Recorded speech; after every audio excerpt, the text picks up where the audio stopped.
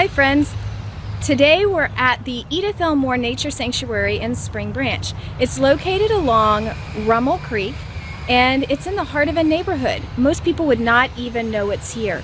It's on just a regular street with houses and everything. You don't even have to drive far to get here.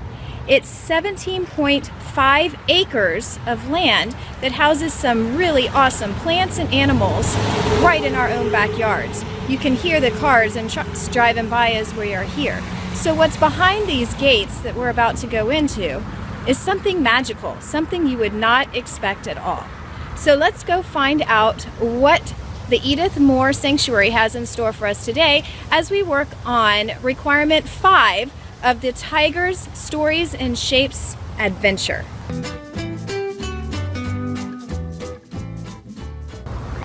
All right, friends, we are here at the Edith Moore Sanctuary, and I have found Richard, and he's going to tell you a little bit about what he does out here and a little bit about the Nature Sanctuary.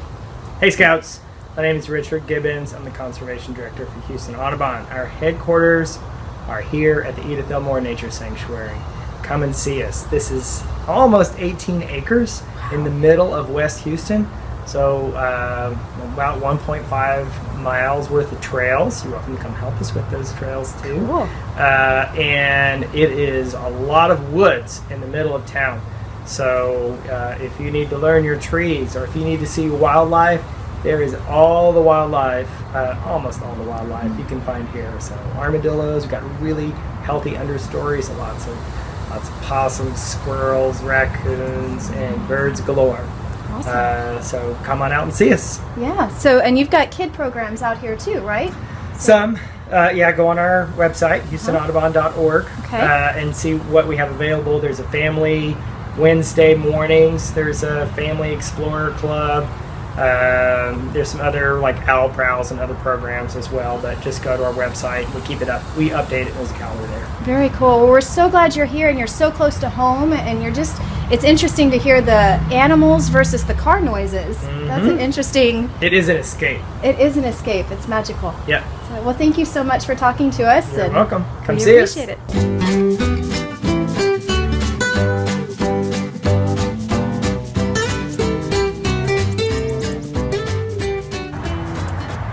Friends, I have found one of the learning pavilions here at Edith Moore. It is a small area where you can sit down, you can relax, you can read a book, you can have your award ceremonies here for your scouts, you can learn different things all the way around. Now, I am a little closer to the street, so you will hear some cars as they drive by, but it's interesting because we still hear all the nature sounds as well the birds, the bugs, all kinds of noises if you listen closely. Um, you can't see the cars, which is kind of cool, but you can certainly hear them. Now, today's requirement for tigers and stories in shapes, we are going to be working on requirement five. Requirement five says that you are to make a picture using tangrams. Well, what's a tangram? A tangram is an ancient Chinese puzzle that is made from a square that has been cut into seven different geometric pieces. Now, the way the puzzles work is that every piece of this puzzle will be used to make a shape. One picture. They have to touch, but they can't overlap. So you'll see that a little bit more as we go along. So I've given you this resource in your list of information, so you would need to print this out for today's lesson.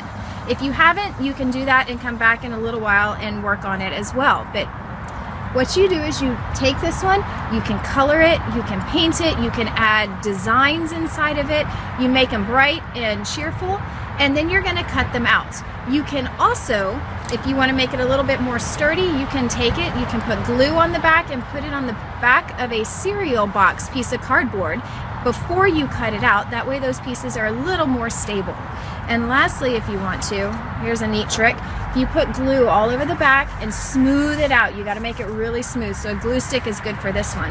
And take a piece of scrapbooking paper and glue that to the back of this. When you cut it out, your pieces will be colored on one side. So this is kind of a neat way to do it as well. But really, if you don't have any of that, just use some crayons, markers, colored pencils, paints, whatever you have. You're gonna cut them out. There are things called Shape by Shape, which is a game you can also use that has tangrams, and you can see all the little pieces that are loose in here. So the game itself, when you open it up, has these little cards inside that have challenges for you. Look, maybe that's a deer, or a person, or a candle. Two cats looking at each other but you have to use all your shapes to create your design. And that's the way tangrams work. So you can see here I have the seven that have been separated to create just the box. But these are just taped on here. If I take it off and I move it someplace else, I take this one, I can start making different designs using all seven of the shapes. So that's your trick is to use all seven to create a design. But a little bit later after we go exploring through Edith Moore, we're going to stop and we're going to read a book called Grandfather Tang's Story. And it's the story of tangrams, or a story told with tangrams. I think you're going to like it. So I'm going to keep looking. We're going to take a little bit of a hike, and our next stop, we will look at the book and we'll uh, do some artwork with it. So I will see you in just a bit.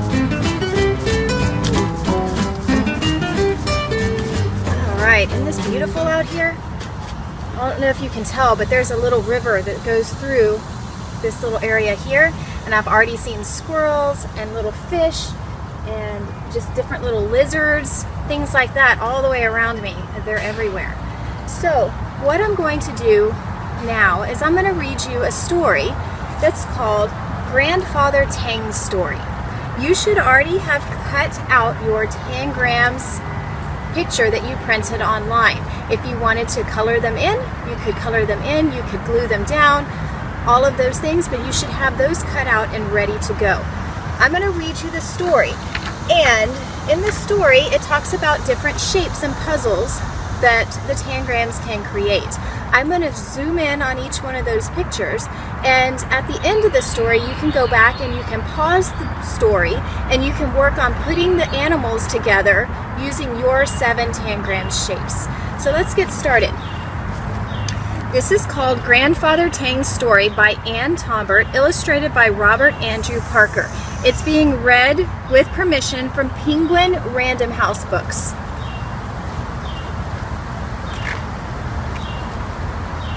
It is beautiful images.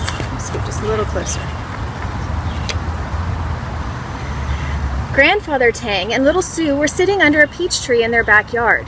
They were amusing each other by making different shapes with their tangrams. Let's do a story about the fox fairies, said little Sue. So Grandfather Tang arranged his seven tangram pieces into the shape of a fox. Then Grandfather Tang made another fox with little Sue's seven tangram pieces. Little Sue clapped her hands as her grandfather began. So I'm going to pause the book in just a moment and show you these images and that way you have a chance to put these together.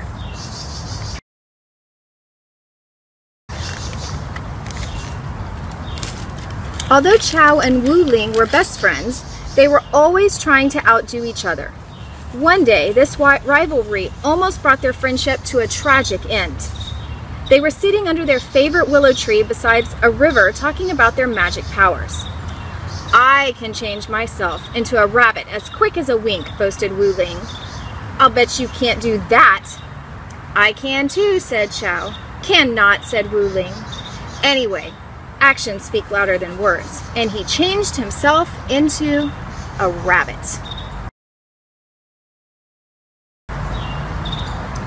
Not bad, Chow, said Chow, smoothing his whiskers, but watch me do better than that. And before Wu Ling could blink, Chow changed himself from a fox into a dog.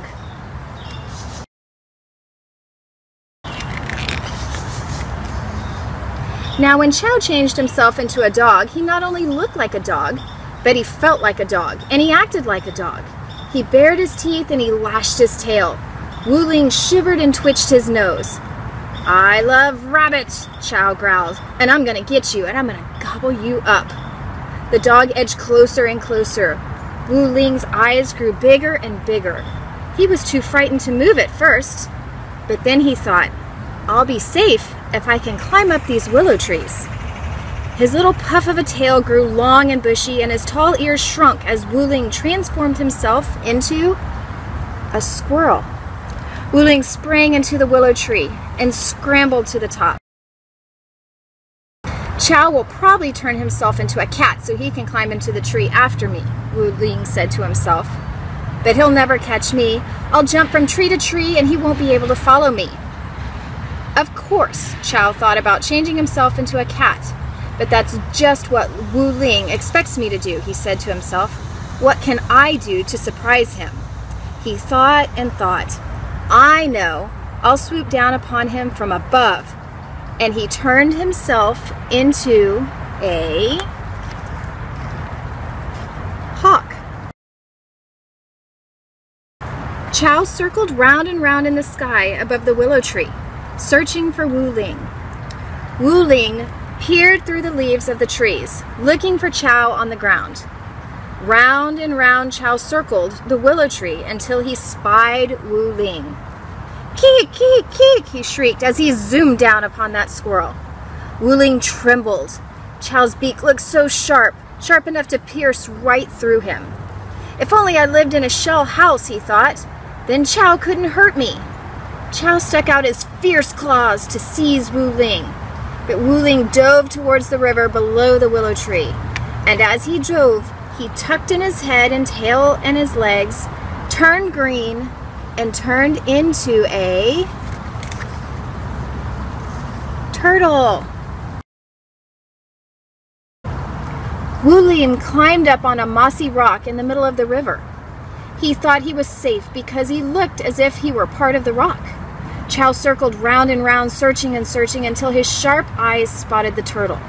Then he swooped down, down, down towards him.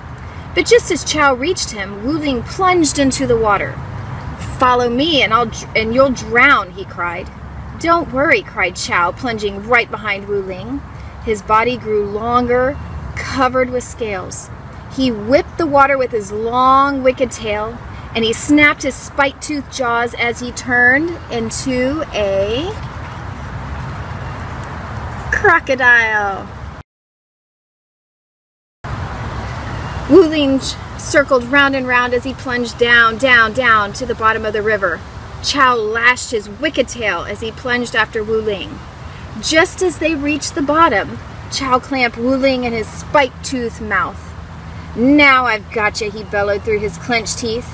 Oh, no, you haven't, cried Wu Ling, who grew smaller and smaller and changed himself from green to gold as he transformed himself into a goldfish.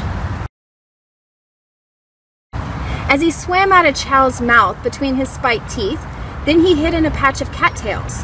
Chow turned the water with his lashing tail as he charged into the patch after Wu Ling. With his head swinging back and forth and his eyes darting here and there, he searched for Wu Ling. Wu Ling knew that Chow would not give up until he found him. I must fly from here, he thought, as he started to honk as he transformed himself into a goose. Chow charged after him, but Wu Ling spread his wings and he took to the air. Chow watched him fly into a small island where a flock of geese were feeding. By now, he was not only very angry, he was also very hungry. He decided that if he could not catch Wu Ling, any goose would make him a good dinner. He splashed through the water towards the island until he reached it. Honk, honk, honk, cried Wu Ling, and he took off into the air. A chorus of honks swelled the air as the flock of geese spread their wings to follow him. While Chow watched the honking grew fainter, the flock grew smaller, and he felt his anger slowly drain away. Why, oh why did we play that stupid game, he moaned. I'll never see Wu Ling again. He closed his eyes and he sank towards the river's bottom. Just as he touched it, however, he had an idea and up he popped again, a goose himself. Moments later, Chow was flying after Wu Ling and the other geese. He could hardly see or hear them at first, but he did not let this discourage them. Calling upon every last bit of his strength, he forged ahead. Each flap of his wings brought him closer. The wedge of geese slowly grew bigger. The honking grew louder. At last, Chow found himself flying beside Wu Ling. I'm tired of our silly game, he cried. Come back with me to our willow tree. Before Wu Ling could answer, something stung Chow's right wing, and he sank towards the ground. A hunter had shot him. Wu Ling flew down beside Chow, placed his left wing under Chow's smashed right wing, and together they fluttered down to the edge of the forest. The hunter ran towards them. Fly away, Chow urged Wu Ling. Save yourself, fly, fly. I won't desert you, cried Wu Ling. And with a mighty roar, he changed into a lion.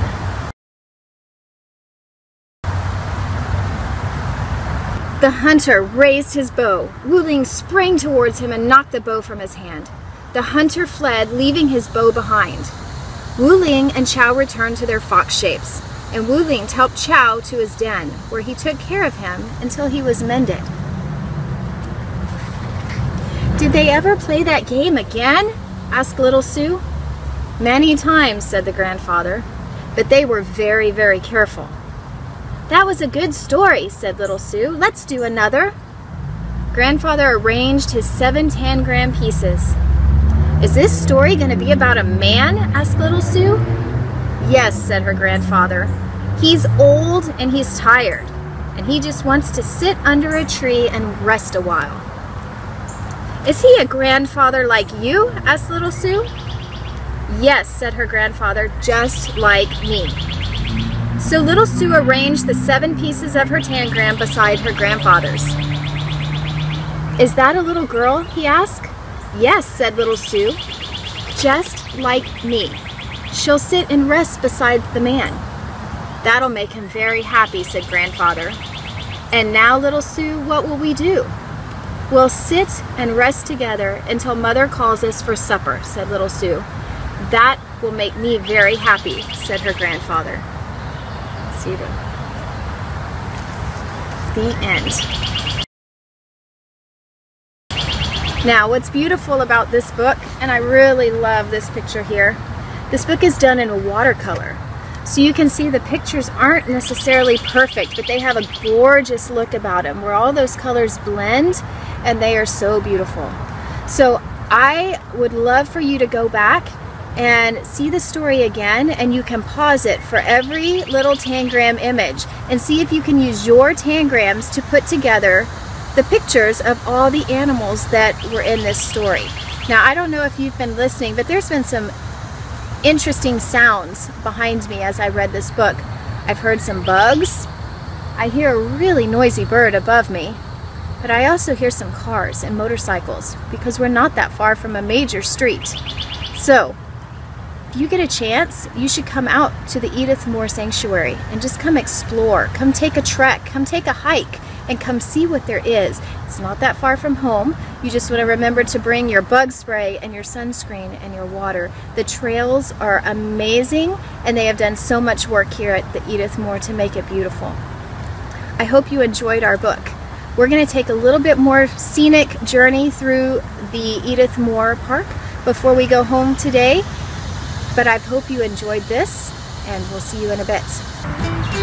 All right, Scouts, thank you for coming with me today to the Edith Moore Nature Sanctuary. I hope you had a good time exploring with me as we looked around and saw what the outdoors had to offer us. It's so nice to be out in this type of environment. It is a lot cooler in this area. It's a lot of shade. So if you do come out, uh, just remember to bring your sunscreen, bring your water, bring your mosquito spray because they do have mosquitoes out here with all the cool water features. Um, but I hope you always get out, get outside, enjoy the world around you, and keep making art. Bye-bye, guys.